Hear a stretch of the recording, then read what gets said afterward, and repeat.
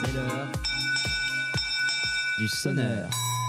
Et pour notre sonneur, nous recevons une personne que nous avons déjà reçue ici et euh, qui euh, avait plutôt, euh, qui était plutôt optimiste pour la suite quand on l'avait reçu. Et malheureusement aujourd'hui, de nouveau, une nouvelle catastrophe. Nous sommes très heureux de le recevoir. Bonjour Pierre-Guillaume Mercadal. Bonjour.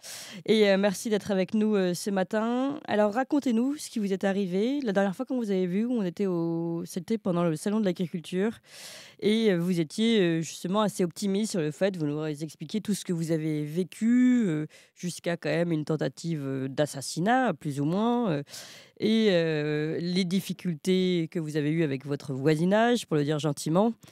Euh, mais vous redressiez la tête fièrement et disiez que voilà, vous n'abandonneriez pas euh, votre combat pour pouvoir euh, mener à bien cet élevage et votre vie sur place à Montjoie, dans le Tarn-et-Garonne.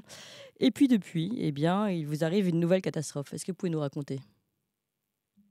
Oui, bon, moi, déjà, bonjour et merci pour votre invitation. Ben, en fait, donc, mon élevage, mon cheptel est malade et donc on va tout euthanasier dans les jours qui viennent, donc à la demande des, services de l'État. Et, là où c'est très troublant, c'est que donc c'est une maladie, la maladie d'Ogeski, qui est véhiculée par le, sanglier. Euh, D'après le document que m'ont envoyé les, services vétérinaires que j'ai même eu publié, euh, il n'y a pas de cas euh, localement.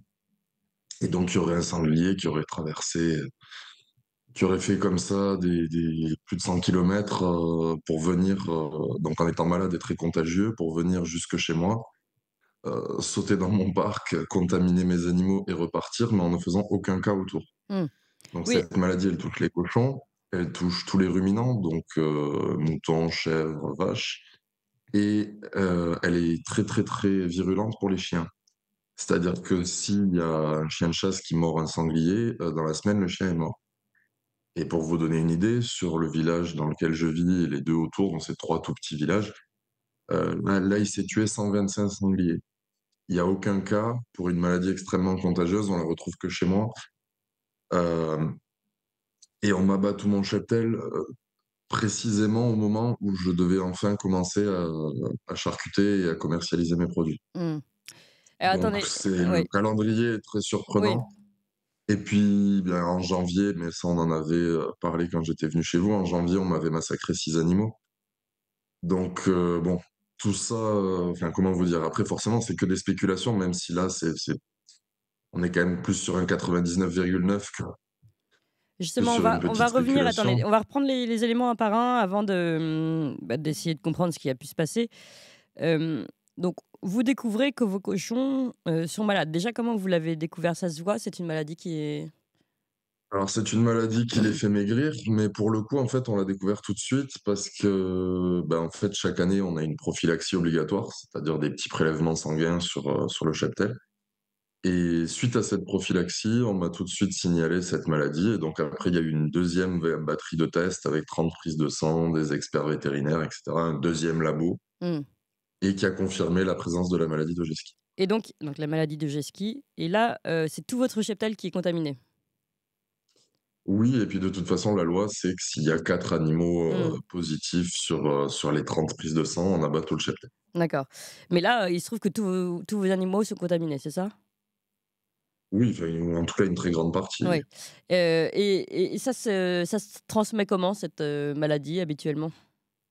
Euh, ça peut se transmettre par le simple contact, par la salive, ça peut se transmettre sexuellement. euh, voilà. Bon, bien sûr, ça touche pas l'homme. hein.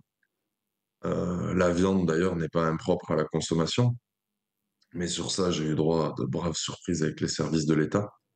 Oui. Donc, euh, je sais pas si vous voulez que j'en parle, mais Bah, vous pouvez nous raconter. Nous, on avait déjà eu euh, des tables rondes entières avec des agriculteurs. Alors, pour le coup, c'était des, c'était des volailles.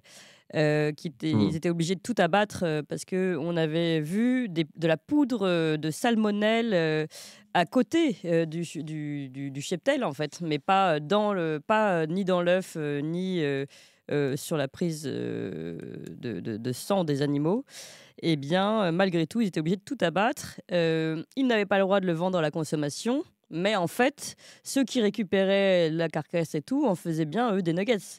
Donc c'est euh, un non-sens total. C'est-à-dire que lui, il devait payer l'abattage, payer euh, les écarisseurs, ou je ne sais plus comment ça s'appelle, les écarisseurs qui, qui viennent récupérer le, le- les, enfin, le- les bêtes euh, décédées, mortes. Et, mais en- et les autres, derrière, eux, revendent pour faire de, de- de la consommation, malgré tout, alimentaire. Mais, et lui a tout perdu. Donc c'est un, sujet qu'on Ben connaît et qui arrive, malheureusement. Ben, moi, le, la il y a deux différences avec ce cas-là, c'est que c'est plus comme les cas de grippe aviaire, euh, si vous voulez, parce qu'en fait, ça touche pas l'homme. Et ensuite, euh, ben, en fait, donc, quand j'ai appris ça, on m'a expliqué que je serais probablement euh, très mal indemnisé. En tout cas, c'est ce qu'on m'a annoncé. On verra maintenant comment ça va se passer avec les, les experts qui sont venus à la ferme. Et, et donc, en fait, si vous voulez, j'ai dit, bon, bah, si, si- tant pis, même si j'étais plus ou moins euh, par terre, vous l'imaginez bien. Oui. Mais euh, on a dit, bon, bah, tant pis, on va essayer d'en transformer un maximum pour que la vente de ces produits-là plus l'indemnisation permettent de repartir. Hmm. Et là, on m'a dit, ah non, mais monsieur, si vous transformez, c'est déduit des indemnisations. Ah oui, d'accord.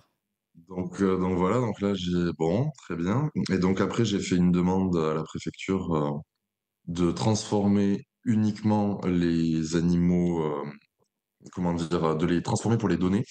Donc euh, tout ce qui allait être euh, secours populaire, secours Oui, catholique, pour ne pas perdre la viande, tout simplement. Oui.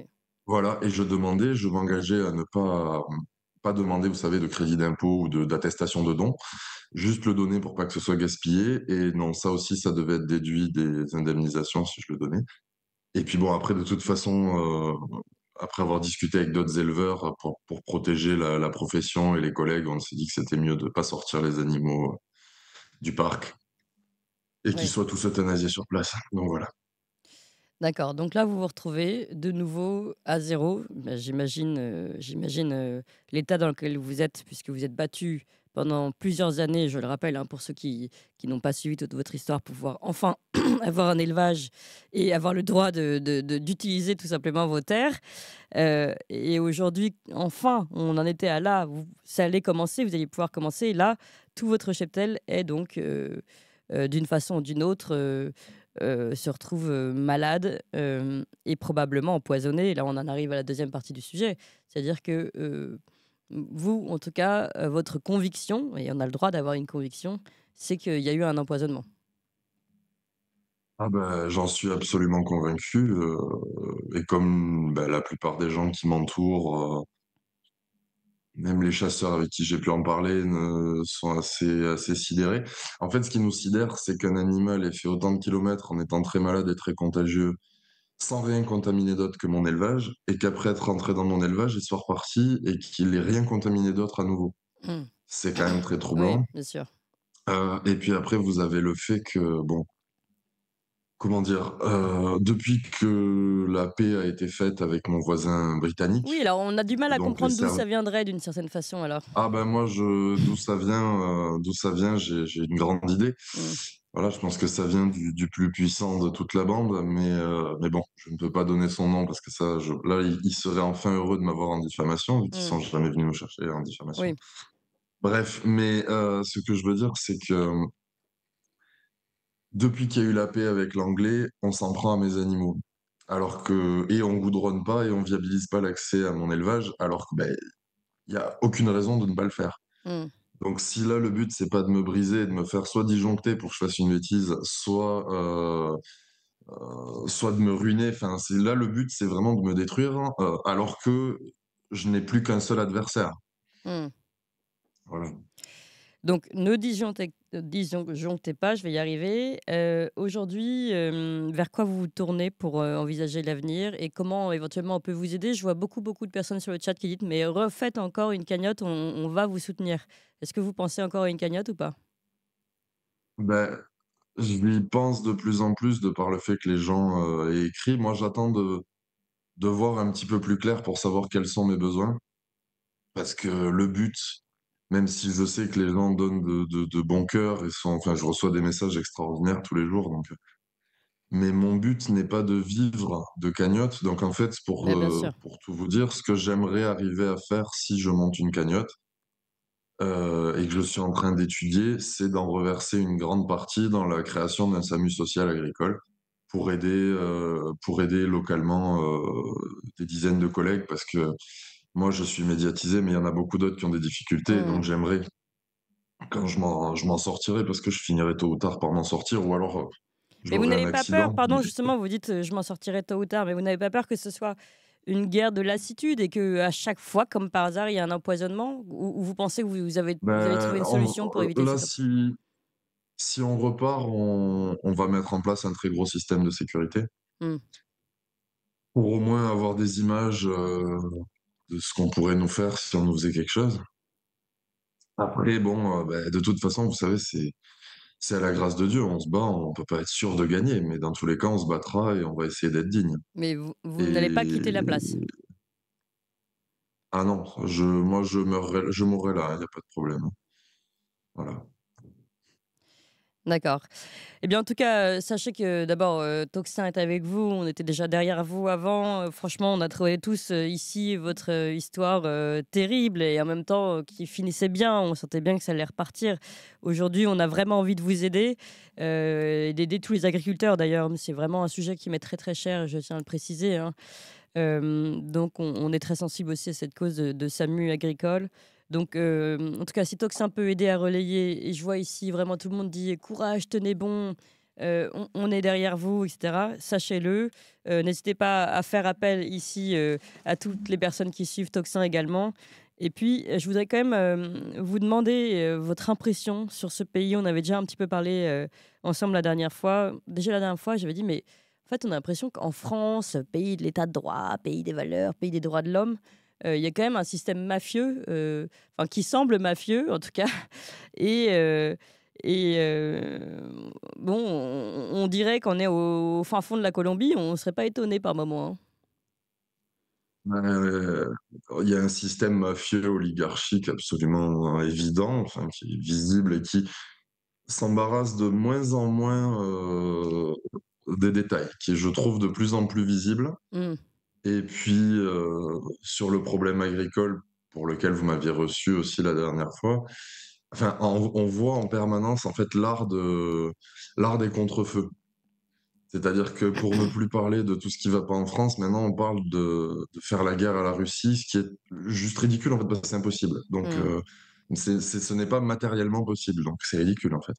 Mais ça permet d'occuper les gens et de parler d'autres choses. Mais au niveau de la crise agricole et de la crise en général, euh, je plains les Parisiens pendant les Jeux Olympiques. hein. Ouais, on va en Je parler. pense que ça risque d'être une période très coquine. hein. Mais bon.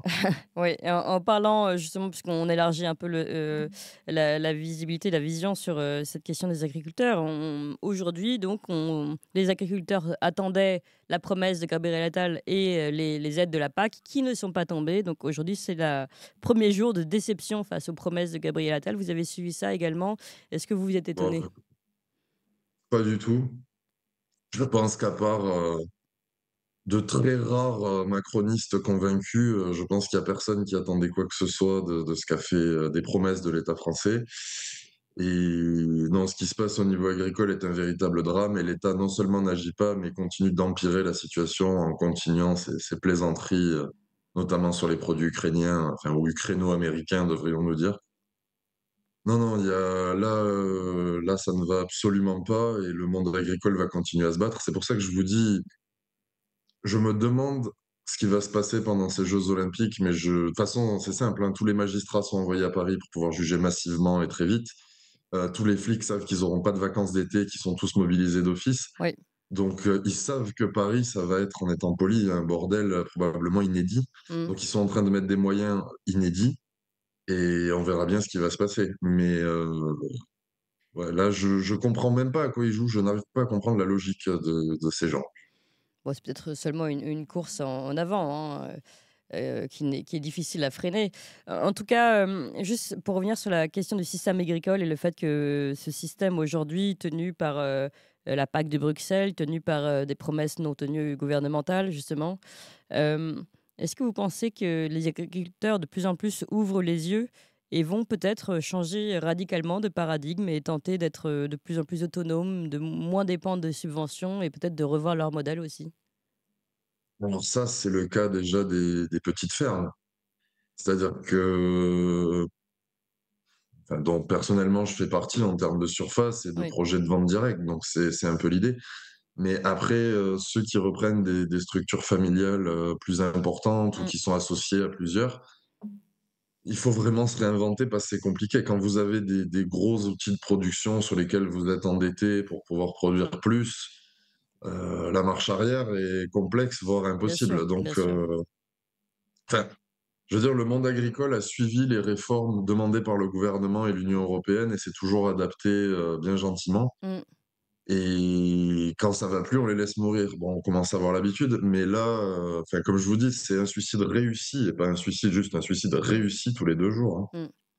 C'est Tout à fait, on est bien d'accord et il est temps, bah, pour, les agriculteurs qui peuvent changer de modèle, à mon avis, il faut vraiment récupérer son indépendance par rapport, à un gouvernement et une Europe qui visiblement ne tient pas ses promesses et puis, pour vous, Pierre-Guillaume Mercadal eh bien, nous sommes de tout cœur derrière vous et nous attendons, hein, s'il y a, une façon ou d'une autre, eh je vous remercie beaucoup.